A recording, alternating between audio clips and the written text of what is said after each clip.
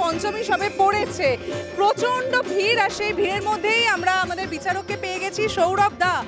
কি মানে মনে হচ্ছে কি পঞ্চমী সবে পড়েছে? মানে বলা যেতে পারে চতুর্থীর রাত আর কি। সমুদ্র। অলরেডি এরপর হয়তো সুনামি আসবে। এবং আমি সাউথ পয়েন্টার আমি এক্স পয়েন্টার এবং এটা আমার পাড়ার মধ্যেই পড়ে আর কি পুরো বিষয়টা। এই গড়িয়াহাট বালিগঞ্জ এই এইদিকে পুরোটাই আর কি। ভীষণভাবে চার্জড আপ আর শ্রীধারার কিন্তু এটা কমন প্রত্যেক বছরই এরকম অবস্থা হয় আর শুধু তাই নয়, এখন পুজো এগোতে এগোতে মহালয়া প্রায় থেকে শুরু। আর ইউনেস্কোর কারণে তো আমাদের টেন টু ফিফটিন্থ ছিলই।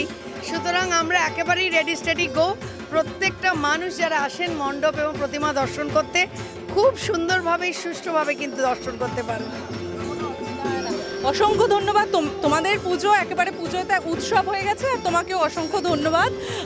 এই বছর ত্রিধারাতে ইতিমধ্যেই মানুষের ঢল হয়ে গেছে আর আগামী দিনগুলো মানে সেইটুকু আমরা আশাবাদী যে আগামী দিনগুলোতে আপনাদের ঢল বাড়বে আর অবশ্যই ত্রিধারাতে তো আসবেন, আলাদা করে বলার কিছু নেই। আর যদি মিস করে চান বা পুজোর অন্যান্য খুঁটিনাটি বিভিন্ন আপডেটস জানতে চান, তাহলে চোখ রাখুন ইনকোরা টিভির পর্দায়।